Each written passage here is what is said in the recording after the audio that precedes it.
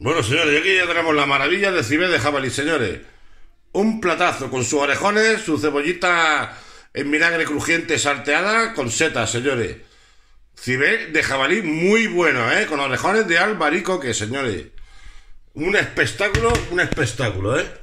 Un espectáculo. Puro sabor a monte, señores. ¡Qué delicia!